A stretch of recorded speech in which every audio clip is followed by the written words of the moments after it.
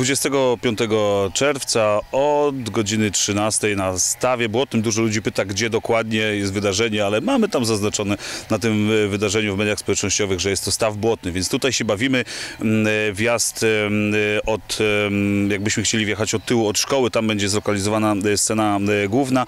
Bardzo ważna informacja, nie będzie możliwości wjazdu samochodem, więc rowerki, spacerki piesze, kijeczki, Nordic Walking e, i zapraszamy nad e, staw e, błotny. Heinesforder Z, no to to jest nazwa oczywiście e, Landsberczyków, e, jezioro błotne, jezioro chwalęcickie, e, to to też nazwa, która się pojawia w zapisach, w kronikach historycznych, z racji tego, że tereny, gdzie będziemy się bawić, należały kiedyś do Chwalęcic, a dokładnie do, do Mironic. No ale Chwalęcice były najbliżej, stąd też jezioro chwalęcickie, jezioro błotne i to jest bardzo ciekawa też sytuacja, że potocznie mówimy na to staw błotny, stąd też em, nasza, e, nazwa naszego wydarzenia e, Heinersworder i e, historia stawu błotnego. Ten staw błotny potocznie my go nazywamy, e, więc e, chcemy trochę mm, uświadomić ludzi, że e, no, ta nazwa jest tylko potoczna, a tak naprawdę e, to ten akwen jest e, jeziorem e, błotnym.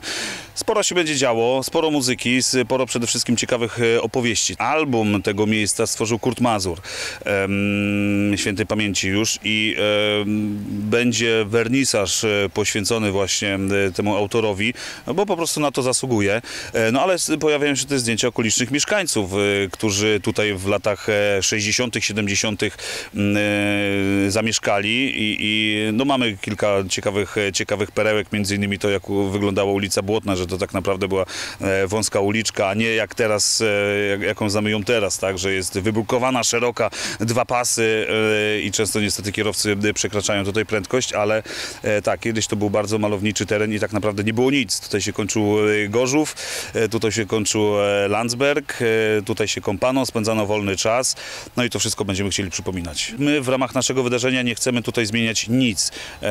Wiadomo, zadbamy trochę o zieleń, żeby, żeby jednak spędzenie tego czasu podczas tej niedzieli e, było przyjemniejsze, bo, e, bo ta okolica no, zarosła, e, więc przygotujemy mm, trochę tego terenu, żeby ten czas był milej spędzony, aczkolwiek nie będziemy też wykaszać wszystkiego dookoła, bo nie o to chodzi. To ma bardzo y, swój urokliwy y, charakter, to miejsce i niech takie, takie pozostanie. Jeżeli chodzi o plażę, Wydaje mi się, że nie ma już mm, terenowych warunków do tego, żeby tą plażę mm, e, przywrócić e, nieopodal jak siedzimy. Ona kiedyś była bardzo duża, e, no ale też drzewostan był dużo mniejszy, tak? Mniej tej zieleni. Teraz naprawdę to bardzo urokliwie wygląda. Wielu mieszkańców uważa, że wciąż jest to zapomniany, zaniedbany, zaniedbane miejsce. Czy takie jest? Nie wiem. Dla mnie to ma faktycznie charakter taki bardzo Jesteśmy w mieście, a tak naprawdę dzięki e, temu miejscu możemy e, przenieść się w ogóle gdzieś w jakąś puszczę, gdzie, gdzie, gdzie jest całkowicie inny świat.